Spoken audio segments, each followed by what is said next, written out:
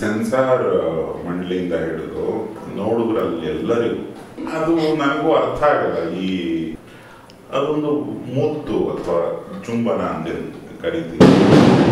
ತುಂಬ biological and cultural value ಇರುವಂಥ ಒಂದು ಕ್ರಿಯೆ ಅದು. ಅದು ಪ್ರೀತಿದಿರ್ಬೋದು, ಮತ್ತೊಂದಿರ್ಬೋದು, ಮತ್ತು ಅದನ್ನ ಯಾವುದಕ್ಕೂ ಲೀಡ್ ಆಗುತ್ತೆ, ಅದು ಬೇರೆ. ಅದನ್ನ ಬಾಯಿ ಬಾಯಿ ಪಡ್ಕೊಳ್ಳೋದು ನನಗೆ ಅದು ಒಂದು ಸರ್ ಇನ್ನೊಂದೇನಂದ್ರೆ ಮಜಾ ದೊಡ್ಡವ್ರು ಮಾಡೋದನ್ನ ಚಿಕ್ಕವ್ರು ನೋಡ್ಬೋದಂತೆ. ಅದಕ್ಕೆ ಅದಕ್ಕೆ ಯು ಎ ಕೊಡ್ತಾರಂತೆ. ಚಿಕ್ಕವ್ರು ಮಾಡಿದ್ರೆ ಚಿಕ್ಕವ್ರು ನೋಡಿದ್ರೆ ಇನ್ಫ್ಲೂಯೆನ್ಸ್ ಆಗ್ಬಿಡ್ತಾರಂತೆ. ಅದಕ್ಕೆ ನಮಗೆ ಎ ಕೊಡ್ತಾರಂತೆ. ಚಿಕ್ಕವ್ರು ಮಾಡಿದ್ರೆ ದೊಡ್ಡವ್ರು ಅಲ್ಲಿ ಎಷ್ಟೋ ಕಾನೂನುಗಳು ಆಗಿದೆ ಭಾರತದ್ದು. ಆ, ಕಾನೂನು ತೊಡಕು ಅಂತ ಕರೀತಾರಲ್ಲ ನಿಮ್ಮ ನಡಿಗೆಗೂ ಕೂಡ ಇದೆ ಅದು. ನೆಟ್ಟಿಗೆ ನಡೆಯೋದು, ಬಟ್ಟೆಯಿಂದ ಹಿಡಿದು ಮತ್ತೊಂದು ಮಗು ಎಲ್ಲವೂ ಇದೆ. ಅವು ಎಷ್ಟು ಅದು ಬಿಡ್ತಾರೋ ಅಷ್ಟು ಸ್ಪ್ರಿಂಗ್ ತರ ಆಚೆ ಬರ್ತಾವು ಅನ್ನೋ ಥರದ್ದು ಅದು ಗೊತ್ತಾಗೋದಿಲ್ಲ ನಮ್ಮ ನಮ್ಮ ನಮ್ಮ ಸಮಾಜ ಇರೋದೇ ಹಾಗೆ. ತನ್ನ ಅನುಭವ ಆ ಒಂದು ಪರ್ಟಿಕ್ಯುಲರ್ ದೃಶ್ಯದಲ್ಲಿ. ಅಲ್ಲ ಹುಡುಗಿಯಾಗಿ ಅವ್ರಿಗೆ ಸಿಟ್ಕೊಂಡ್ಬಿಡ್ತು. ಓಕೆ ಇಲ್ಲ ಅಂದರೆ ನಾನು ಫಸ್ಟೇ ಫಿಕ್ಸ್ ಆಗಿಬಿಟ್ಟಿದ್ದೆ. ಎಷ್ಟು ಟೇಕು ಅಂತ ಅಲ್ಲ ಅದು ಅವರಿಗೆ ಓಕೆ ಅನ್ಸೋ ತನಕ ಮಾಡಬೇಕು ಅಂತ. ಯಾಕಂದ್ರೆ ಕ್ಯಾರೆಕ್ಟ್ರು ತುಂಬ ಅಡ್ವರ್ಟೈಸ್ ಸರ್ ಇವ್ನ ಸೈಡ್ ಕರ್ಕೊಂಡು ನಾನು ಕಿಸ್ ಮಾಡಿ ಅವನಿಗೆ ತೋರಿಸಿದ್ದೆ.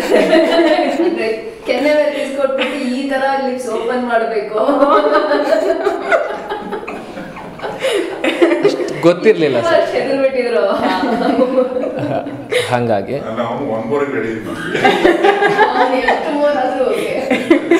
ಹಂಗಲ್ಲ. ಇಲ್ಲ ಅಂದರೆ ಫಸ್ಟು ಸ್ಕ್ರಿಪ್ಟ್ ಹೇಳಿದಾಗಲೇ ನಾನು ಹೇಳಿದ್ದೆ.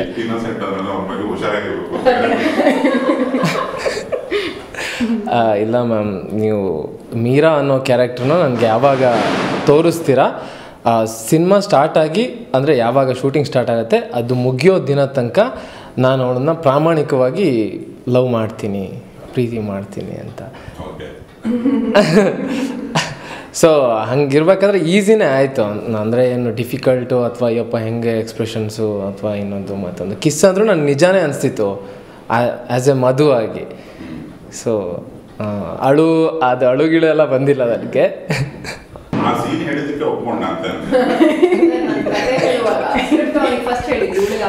ಫಸ್ಟ್ ಅವನಿಗೆ ಹೇಳಿದ್ದು ಮೂರ್ ದಿವಸ ಜ್ವರ ಬಂದ್ಬಿಟ್ಟಿತ್ತು ಅವನಿಗೆ.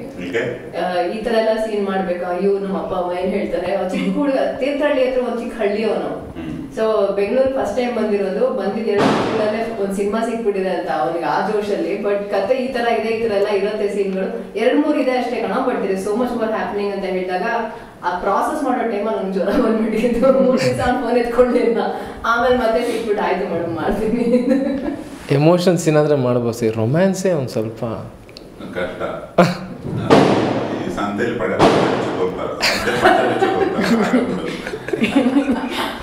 ನಟನೇನೆ ಕಷ್ಟ ಅದು. ನಮಗೆ ಒಂದು ನನಗೆ ಗೊತ್ತಿರಲಿಲ್ಲ. ಈ ಮುಂಗಾರು ಮಳೆ ಗಾಳಿಪಟ ಟೈಮಲ್ಲೆಲ್ಲ ಕೂಗೋದು ಆಮೇಲೆ ನಟನ ನಾನು ತುಂಬ ಚೆನ್ನಾಗಿ ನಗಿಸಿ ಎಲ್ಲ ಪ್ರಾಕ್ಟೀಸ್ ಮಾಡಿ ಇಟ್ಕೊಂಡಿರ್ತೀನಿ. ಬಟ್ ಒಂದಿಷ್ಟು ಎಕ್ಸ್ಟ್ರೀಮ್ ಕಂಡೀಷನ್ ಏನು ಸರಿನೇ ಕಾಣಲ್ಲ. ಏನ್ ಮಾಡ್ತಾ ಇದ್ದಾರೆ ಅಥವಾ ಅವತ್ತು ನಮ್ಮ ತಲೆ ಸರಿ ಇರಲ್ಲ. ಅವ್ರು ಕರೆಕ್ಟಾಗಿ ಮಾಡ್ತಿರ್ತಾರೆ. ಈ ನಿರ್ದೇಶಕರು ಸೀನನ್ನ ಹಿಂಗ್ ನೋಡ್ತಿರ್ತೀವಿ. ನಟರು ಹಿಂಗ್ ನೋಡ್ತಿರ್ತಾರೆ. ನಾವು ಕ್ಯಾಮ್ರಾ ಇಟ್ಕೊಂಡು ಹಿಂಗ್ ನಿಂತಿರ್ತೀವಿ ಬದ್ಧ ವೈರಿಗಳು ನಾವು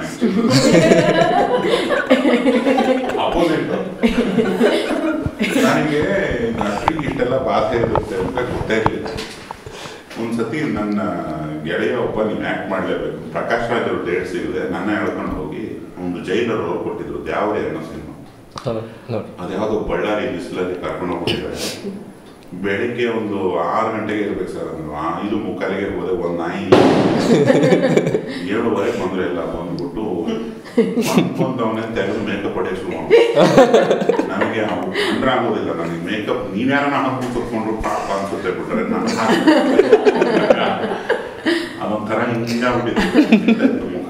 ಇದೆರಡು ಇಡ್ಲಿ ಕೊಟ್ಟಾಗ ತಿಂದೆ ನಿದ್ದೆ ಬೆಳಗ್ಗೆ ಬೇಕು ಅಲ್ಲಿ ಮಲಗದೆ ಇಲ್ಲಿ ಏನೇನೋ ಆ ಕೈದಿಗಳಂತೆ ಅವನಂತೆ ಇವನಂತೆ ಹನ್ನೊಂದು ಆಗ ನಿದ್ದೆ ಸರಿಯಾಗಿ ಈ ಗಲಾಟೆ ಮತ್ತೆ ಗೊತ್ತಾ? ನನ್ನ ಪಾಡಿ ನಾನು ಚೇರ್ ತಗೊಂಡು ಆ ಜೈಲಿಂದ ಹೊರಗಡೆ ಒಂದು ಮರ ಇತ್ತು. ಸ್ವಲ್ಪ ಪುಟಾಣಿ ಬೆಟ್ಟ ಅದ್ರ ಮೇಲೆ ಒಂದು ಮರ. ಮರದ ಕೆಳಗಡೆ ನೆರಳು ಹುಡುಕಿ ಹಾಕೊಂಡು ಆರಾಮ ಮಾಡ್ಕೊಂಡ್ಬಿಟ್ಟೆ ಒಂದೂವರೆಗೆ ಒಬ್ಬಂದ ಅಸಿಸ್ಟೆಂಟ್ ಡೈರೆಕ್ಟರ್ ಅವನ ಜೊತೆಗೆ ಇನ್ನೊಬ್ಬ ಅವನಿಗೆ ಅಸಿಸ್ಟೆಂಟ್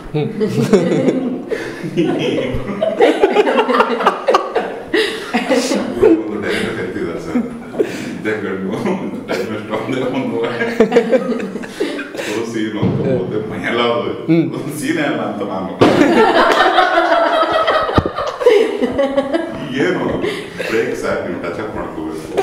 ಬ್ರೇಕ್ ತಾನೇ ಹೋಗಿ ನಾನು ಇಲ್ಲೇ ಬಂದಿದ್ದೆ ಆ ಬರೀ ಸರ್ ಬೈತಾರೆ ಜಾಸ್ತಿ ಬಿಟ್ಟು ಅವ್ರಿಗೆ. ಬೆಳಿಗ್ಗೆ ಆರು ಗಂಟೆಗೆ ಎತ್ತಿ ಹಾಕೊಂಡು ಇರಿಟೇಷನ್ ಅದು ಬೆಟ್ಟ ಬೇರೆ ಕೊಟ್ಟದು ಒಬ್ಬನಿಗೆ ಒದ್ದೆ ಇನ್ನೊಬ್ಬ ನಡ್ಕೊಂಡು ಇಬ್ರು ಉಳ್ಕೊಂಡು ಅವಾಗ ಗೊತ್ತಾಯ್ತು ನಾನು ಹಂಗ್ ಮಾಡೋದೇ ಇಲ್ಲ ನಾನು ನಾನು ಉಳ್ಕೊಂಡು ಹೋದಿಲ್ಲ ಯಾಕೆ ಎಲ್ರಿಗೂ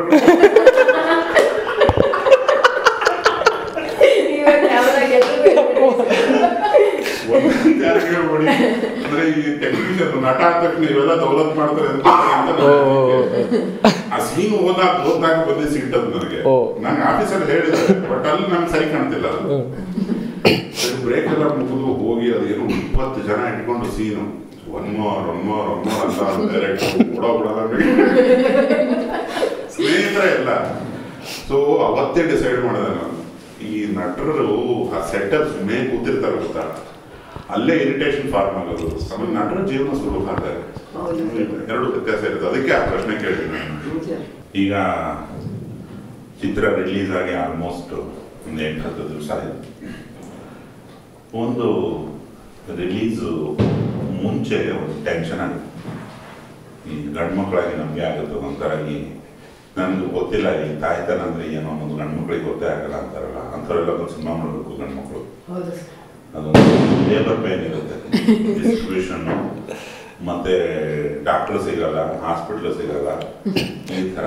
ಒಂದು ಎಂಟೂವರೆ ತಿಂಗಳ ಗರ್ಭಿಣಿ ರೋಡಲ್ದಂಗೆ ಇರುತ್ತೆ ಅದು ನಮಗೆ ಅಷ್ಟು ಕಷ್ಟದ ಕೆಲಸ ತಮಗಂತೂ ಇನ್ನು ಅದು ಹೊಸ ತಂಡ ಹೊಸ ಲೋಕನೇ ನೋಡೋದಂಗಿರುತ್ತೆ ಏನೇನಿತ್ತು ಆ ತಲುಪುಗಳು ರಿಲೀಸ್ ಹಿಂದಿನ ದಿವಸ ಕನಸು ಇರುತ್ತೆ ನನ್ನ ಆ, ಸಿನಿಮಾನು ಕೂಸು ಇಷ್ಟು ಚೆನ್ನಾಗಿದೆ ಜನ ಎತ್ತಿ ಬಾಚಿ ತಪ್ಪಿ ಮುದ್ದಾಡ್ಬಿಡ್ತಾರೆ ಹೊಟ್ಲೆಲ್ಲ ಅವರವರೇ ತೂಗ್ಬಿಡ್ತಾರೆ ಹಂಗೆ ಹಿಂಗೆ ಅಂತೆಲ್ಲ ಏನೇನೇನೋ ದೊಡ್ಡ ಲೆವೆಲ್ ಅಲೆ ಎದ್ದು ಬಿಡುತ್ತೆ ಅಂತೆಲ್ಲ ಇರುತ್ತೆ ಅದಾಗಿ ಅದು ಬಂತಪ್ಪ ಚಿತ್ರಮಂದಿರಕ್ಕೆ ಅಂದು ಮೇಲೆ ಇನ್ನೊಂದು ಟೆನ್ಷನ್ ಶುರು ಆಗುತ್ತೆ ಅದೇ ನಾವು ಯಾರನ್ನ ಡಾಕ್ಟರ್ ಅನ್ಕೊಂಡಿರ್ತೀವಿ ಅವನೇ ಬಂದು ಹೇಳ್ತಾನೆ, ಹಿಂಗೆ ಆಗೋಯ್ತು? ಅಲ್ಲಿ ಹುಬ್ಳಿ, ಆ ಕಡೆ ರೂರಲ್ ಏರಿಯಾದಲ್ಲಿ ಈ ಕಡೆ ತೀರ್ಥಹಳ್ಳಿಗೆಲ್ಲ ನಮ್ಗೆ ರಿಲೀಸ್ ಮಾಡೋಕ್ಕಾಗಿಲ್ಲ ಯಾಕ್ರಿ ಅಂತ ಕೇಳಿದ್ರೆ ಅಲ್ಲಿ ಜನ ಬರ್ತಾರೆ ಬರ್ತಾರಲ್ಲ ಗೊತ್ತಿಲ್ಲ ಹೊಸಗಳು ಅಂದ್ಬಿಡ್ತಾರೆ. ಸೊ ಇದನ್ನೆಲ್ಲ ನಾನು ಎಷ್ಟು ಕಪಾಳ ಪಡ್ಸ್ಕೊಂಡಿದ್ದೀವಿ ಅಂದರೆ, ಮೊದಲನೇ ಸಿನಿಮಾಗಳಲ್ಲಿ ನಾನೊಂದು ಇನ್ಸಿಡೆಂಟ್ ಹೇಳ್ತೀನಿ. ಮೊದಲನೇ ಸಿನಿಮಾ ಮಣಿ ಅಂತ ರಿಲೀಸ್ ಆಗಿ ಒಂದೆರಡು ದಿವಸ ಅದೇನು ಏನಾಯಿತು ಗೊತ್ತಾಗಿಲ್ಲ. ನಾನು ಬರಹಗಾರ, ಅವಾಗ ಬರಹಗಾರ ಇದ್ದ ಡಿರೆಕ್ಟರ್ ಗೆಳೆಯ ಸೂರಿ ಸೂರ್ಯ ಸೂರಿ, ಎಲ್ಲರೂ ಒಂದು ಎಂಟತ್ತು ಜನ ಬೈಕ್ಗಳಲ್ಲಿ ಹೋಗ್ತಾರೆ ಆಲ್ರೆಡಿ ಥಿಯೇಟರ್ಗೆ ಬೆಳಿಗ್ಗೆ ಹತ್ತುವರೆ ಒಂದು ಇಪ್ಪತ್ತ್ಮೂರು ಜನ ಇರೋರು, ಮಧ್ಯಾಹ್ನ ಒಂದು ನಲವತ್ತೈದು ಜನ ಇರೋರು, ಸಾಯಂಕಾಲನೂ ಅಷ್ಟೇ ಇರೋರು. ಓ ಎಲ್ಲಿನೂ ಇಷ್ಟಾರು ಬರ್ತಾ ಇದಾರಲ್ಲ ಅಂತ. ಒಂದು ದಿವಸ ನನಗೆ ನಾಲ್ಕನೇ ದಿವಸ ಸೋಮವಾರ ಹೋದ್ವಿ ಬೈಕ್ ಆ, ಹತ್ತು ಮುಖಾರ ಹೋಗಿತ್ತು. ಮೋಸ್ಟ್ಲಿ ಶೋ ಒಳಗಡೆ ಇರಬೇಕು ಜನ ಅನ್ಕೊಂಡು ನಾವು ಹೊರಗಡೆ ಬೈಕ್ ಹಾಕೊಂಡು ಕಾಯ್ತಾ ಇದ್ವಿ. ಆಮೇಲೆ ಒಂದು ತಾಸು ಬಿಟ್ಟು ಸೆಕ್ಯೂರಿಟಿ ಬಂದಿದ್ರು. ಯಾರು ಬರ್ಲಿಲ್ಲ ಸರ್ ಶೋ ಕ್ಯಾನ್ಸಲ್ ಆಯ್ತು. ಹೌದೇ. ಒಳಗಡೆ ಸಿನಿಮಾ ನಡೀತಿದೆ.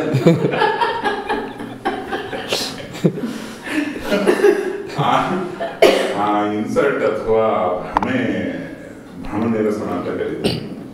ಅದು ಆಗೋವರೆಗೂ ನಮಗೆ ಗೊತ್ತಾಗಲ್ಲ. ಜನ ಅಂದ್ರೆ ಏನು ಪಬ್ಲಿಕ್ ಯಾವಾಗಲೂ ರಿಲೀಸ್ ಸಹ ಟೀಮಿಗೆ ಒಂದು ಟೆನ್ಷನ್ ಇರುತ್ತೆ. ಸಿಗ್ನಲ್ ಸಿಗ್ನಲ್ ಹೋಗ್ತಾ ಇರ್ತೀರಿ ಆಟೋದಲ್ಲೋ ಬೈಕಲ್ಲೋ ಕಾರಲ್ಲಿ ಜನ ಎಲ್ಲ ಅವ್ರ ಪಾಡಿಗೆ ಆ ಹಾಲು ತಗೊಂಡು ಹೋಗ್ತಿರ್ತಾರೆ ಇನ್ನೊಬ್ರು ಆಫೀಸಿಗೆ ಹೋಗ್ತಿರ್ತಾರೆ ಸಿಟಿ ಬಸ್ ಫುಲ್ಲು ಕುಂತ್ಕೊಂಡು ಹಿಂಗೆ ಹೋಗ್ತಾ ಇರ್ತಾರೆ. ಅಯ್ಯೋ, ಜನ ಎಲ್ಲ ಅವ್ರ ಪಾಡಿಯವ್ರು ಇದಾರಲ್ಲ ಒಬ್ರು ಮೊನ್ನೆ ಮೆಟ್ರೋ ಬರ್ತಿರುವಾಗಲೂ ಹಂಗೆ ಅನ್ಸಿತ್ತು. ಇಷ್ಟೊಂದು ಜನ ಇದಾರಲ್ಲ ಮೆಟ್ರೋಲಿ ಹೋಗಿ ನೋಡೋಣ ತಲುಪೋದು ಹೆಂಗೆ. ಅಂತ ಅದನ್ನ ಅದನ್ನ ಹೇಳ್ಕೊಡೋದಕ್ಕೆ ಮೊದಲನೇ ಸಿನಿಮಾ ಮಾಡೋದು ನೀವು ಅಲ್ಟಿಮೇಟ್ಲಿ ನಿಮ್ಮ ನಿಮ್ಮ ಕರ್ತೇನ. ನೀವು ನೀವೇ ಬರೋದು ನೋಡ್ಬೇಕಲ್ಲಿಟ್ರೆ ಯಾರು ಏನು ಉಪಯೋಗ ಇಲ್ಲ. ನಾಲ್ಕು ಮಂದಿಗೆ ಹೇಳಬೇಕು ಅದನ್ನ. ಅನ್ನೋದೊಂದು ತೌಕ. ನಾವು ಏನೇ ಸಿನಿಮಾ ಮಾಡಿದ್ರು ಕನ್ನಡದಲ್ಲಿ ಒಳ್ಳೆ ಸಿನಿಮಾ ಬರ್ತಾ ಇಲ್ಲ ಅಂತ ದೊಡ್ಡ ದೊಡ್ಡ ಬಳಿಕರೆಲ್ಲ ಇರ್ತಾರೆ ಅವರು ಏನೋ ಎಲ್ಲ ಸಿನಿಮಾ ನೋಡ್ಬಿಟ್ಟು ಡಿಸೈಡ್ ಮಾಡಿದ್ದಾರೆ ಅಂತ ಮಾಡಿದ್ರು. ಅಂಥ ಮಹನೀಯರಿಗೆಲ್ಲ ಹೇಳ ಮಾಡ್ತಿದ್ದ ಚಿತ್ರ? ಇದು. ಎಲ್ಲಿದ್ದಾರೆ ಅವರು ಮಹನೀಯರು? ಬರಬೇಕಲ್ಲ ಬರ್ಬೇಕಲ್ಲ ಅಟ್ಲೀಸ್ಟ್ ಬಂದ್ರೆ ತಂಡಗಳು ಉಳಿತಾವಲ್ಲ ಬರೋದಿಲ್ಲ ನೋಡ್ದೇನೆ ಬರೆಯೋದು ಈ ಥರದ್ದು ಯಾವುದೇ ಆಪಾದನೆ ಈ ಸಿನಿಮಾಗಿಲ್ಲ. ಯಾಕಂದ್ರೆ ತುಂಬಾ ಬೇರೆ ಮಟ್ಟದ